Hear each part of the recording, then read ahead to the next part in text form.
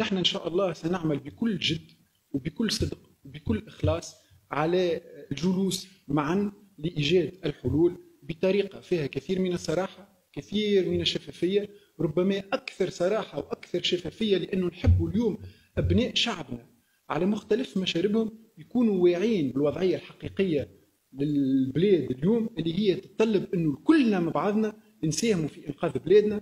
على خاطر تونس تستحق اليوم إن كلنا مع بعضنا نفهموا اللي راهو وصلنا النقطة. نجموا نقولوا عليها دقيقة جدا وهذا يتطلب منا اليوم نجد الحلول اللي عندنا مدة نفكروا فيها لأسباب مختلفة ما فماش مجال اليوم باش نأتي على ذكرها. لم يتم السير قدما في هذه الحلول. اللي نحب نقولوا ان الحلول هذه راهو لن تكون بطريقة مسقطة وإنما ستكون بطريقة تشاركية فيها حوار جدي حوار يكون على أسس علمية ولقينا من الاخيين في الاتحاد مقدرة كبيرة وإلمام كبير وشامل بجميع الملفات ونحن متأكدين اللي هما باش يكونوا قوة اقتراح وقوة إيجاد حلول وإن شاء الله الرسالة ستكون إيجابية لتونس في الداخل ولتونس في الخارج. وشكرا.